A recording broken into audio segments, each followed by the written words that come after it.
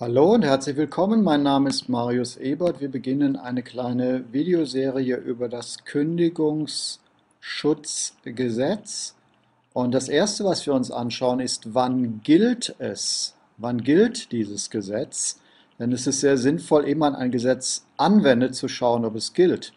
Und zwar sind es zwei Voraussetzungen, die gelten müssen. Das eine, die erste Voraussetzung ist eine persönliche und die zweite Voraussetzung ist betrieblich.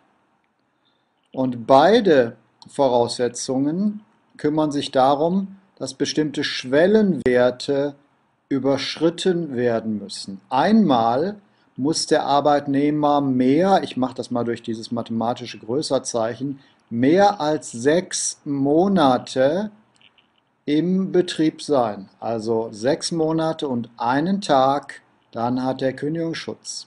Und dazu, beide Bedingungen gelten kumulativ, muss gelten, dass im Betrieb mehr als zehn Arbeitnehmer Vollzeit beschäftigt sind. Wenn Teilzeit beschäftigt wird in diesem Betrieb, dann wird anteilig gerechnet, das ist im Paragraph 23 des Kündigungsschutzgesetzes genau geregelt.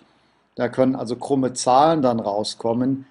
10, Komma und wenn dann hinter dem Komma eine Zahl noch steht, die nicht 0 ist, dann ist diese betriebliche Voraussetzung auch erfüllt und das Kündigungsschutzgesetz gilt. Das heißt, dann hat der Arbeitnehmer Kündigungsschutz und ihm kann nur gekündigt werden, wenn die Kündigung sozial gerechtfertigt ist. Und was das bedeutet, schauen wir uns im nächsten Video an. Schauen Sie auch mal in meinen Shop, den ich gerade aufbaue neue Möglichkeiten des Lernens, so wie ich meine, viel besser als Bücher, weil man den Lernstoff entwicklungsorientiert sieht.